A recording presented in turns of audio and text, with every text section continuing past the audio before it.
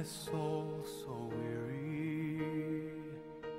When troubles come and my heart burdened be, then I am still and wait here in the silence until you come and sit